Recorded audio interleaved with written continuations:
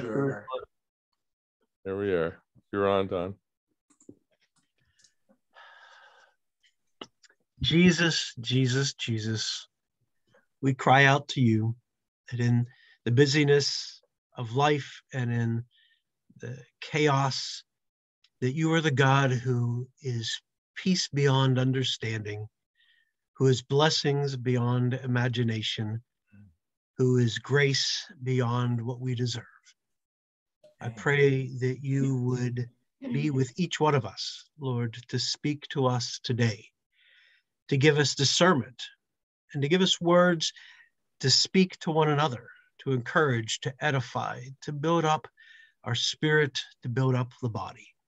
Lord, I would ask your blessings on Ron this morning, that you would guide him, uh, give him wisdom, give him the words to speak to us that might encourage us and challenge us.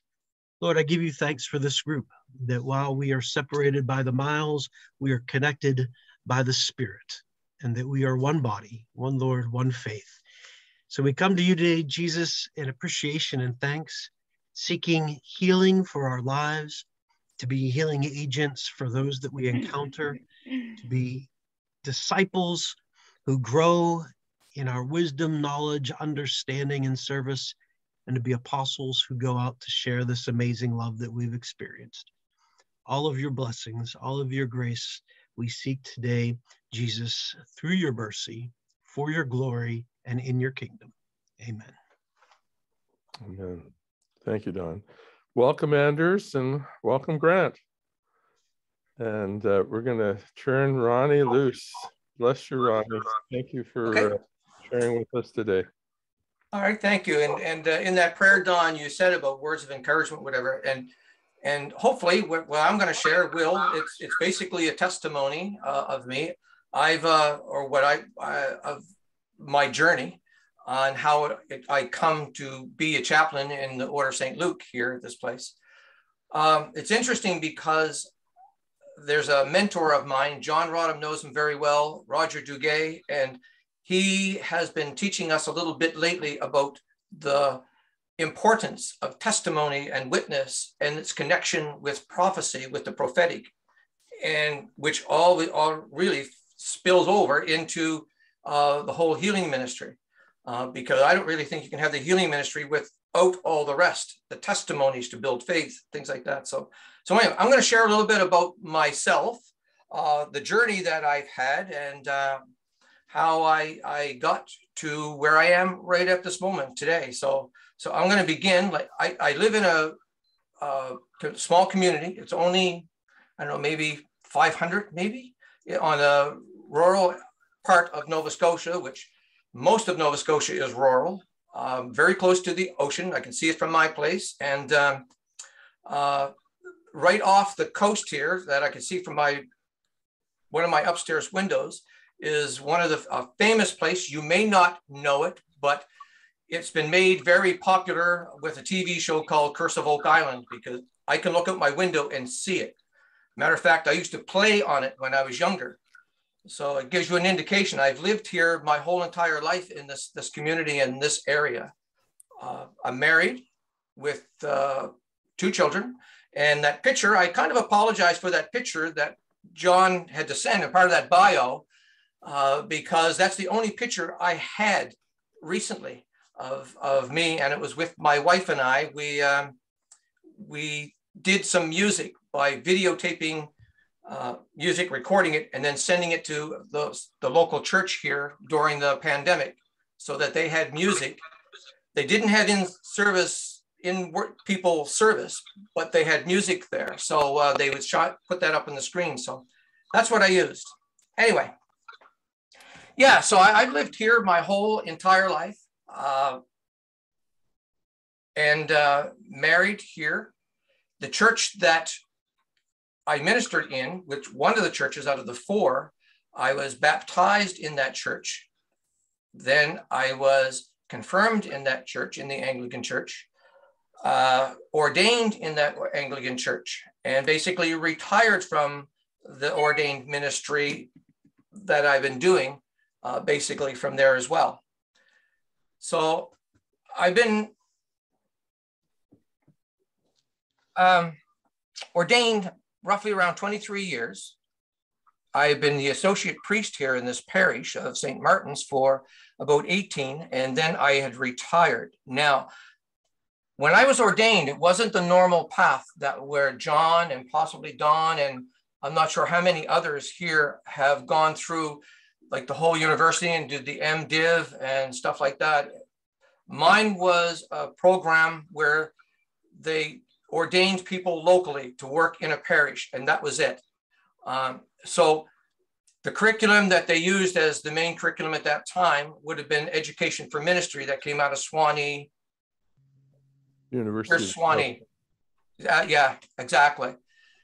And then part of that training was to train for a specific ministry that was in the parish that, that was the parish needed at that time through uh, uh, reading, through being mentored by the clergy that was here in, in the parish, and, uh, and then other studies that would take place for residential uh, learning.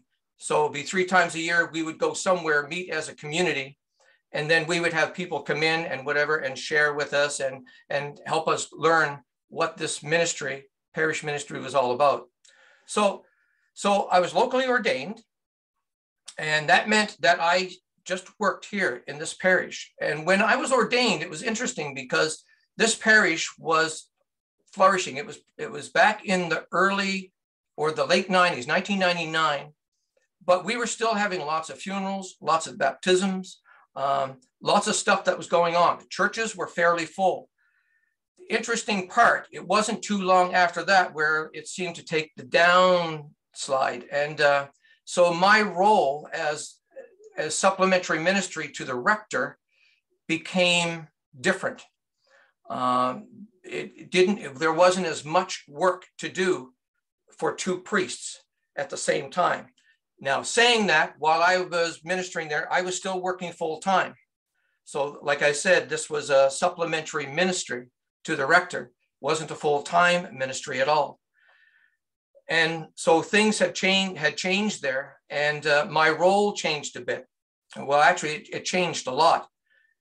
And one of the challenges that I've had through that, and and uh, Christine, when you gave your testimony a, a few months ago, I really, uh, I could uh, align myself with some of that because being in a parish my whole life, I've worked under eight rectors, and I can't tell you how many priests in charge that we I had between. So, so one of the biggest challenges I had as in the ministry here was trying to figure out the boundaries when people would come and go, because every person who came had different boundaries. What one would uh, want me to do, the next one coming in didn't want me to do. So there was this constant, constant um, uh, tension. And sometimes that tension was able to be worked out. Other times, like Christine, like you had said in your testimony, uh, it was a lot more problematic and it, it didn't work out. And uh, and so that was one of the big challenges I had over the 18 years of the parish ministry that I was involved in. And really, what I did here was did everything that the rector would do, except on a smaller scale. When I retired in 2018 from this, this what was called non-stipendiary ordained ministry, I I, I didn't withdraw totally. Like I was still connected, but not in the capacity as as a priest. A lot of the ministry that I would do then was around music, and um, I was basically the leader for introducing the contemporary worship here in the parish. And with a band, we had a worship band called Eastgate for a few years, and um, and so that's that became my main kind of focus over the last few years was that. So what else can i say? Um,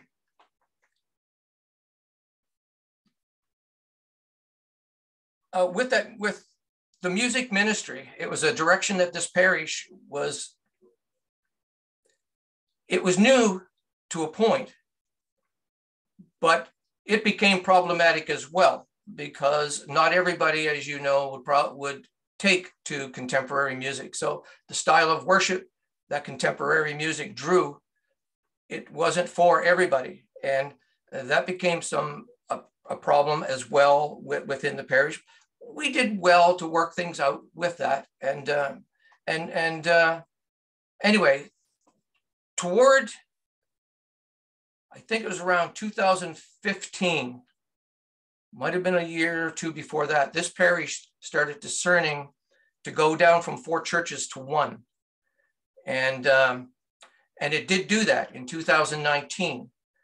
After lots of conversation and lots of, of uh, angst, it did go down to the one church.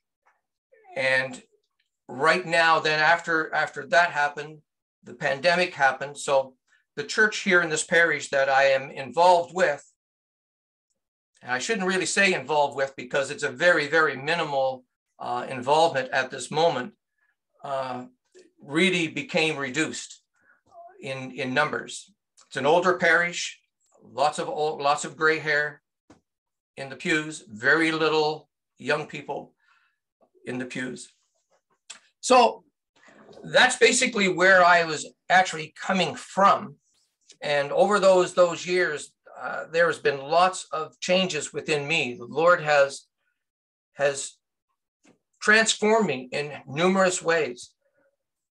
But in about 19 or 2015, something occurred uh, with me, and uh, it had to do with a particular uh, purity issue that I was dealing with. And as I was looking back in my journals, I was dealing with that for a long time, a long time. And, uh,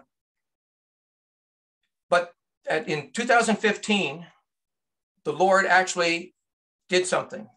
He actually cut it. And th- there, there were steps that happened, but there was a dramatic, dramatic change in me. And I, I remember because of that change, there was tremendous breakthrough in areas of seeking the Lord's face and and and being in His presence uh, more continually. And because of that, He drew me back to areas in my life that when I was first saved, which was way back in 1985, I think, 83, 85, uh, that's when I first gave my life to the Lord. And I can remember such uh, excitement about the about serving him and being with him and that started my journey to to basically to ordain ministry part of my early for early foundation and where i met john roddam was in what the, we referred to as the arm movement in canada anglican renewal ministries which really was a ministry of the holy spirit it's the first time i learned about the holy spirit and so that excited me. I was involved as a lay reader and, and uh, being really heavily involved in church, which took me through to becoming ordained when, when this program came up in this diocese of, of Nova Scotia and, and Prince Edward Island. And so all those years working in the church, I think I got more work oriented than presence oriented. But then in 2015, when I dealt with this purist purity issue, or I should say, I dealt with it. The Lord dealt with it.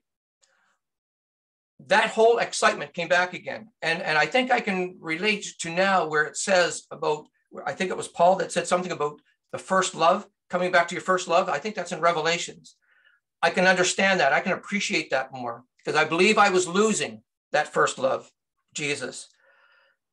Now it resurfaced. I, am and and and I sense a real hunger for God. And uh, I did since then, and and I started looking uh, more toward prophetic ministry, looking more into healing ministry, uh, looking more into the things of God, and spending time with God.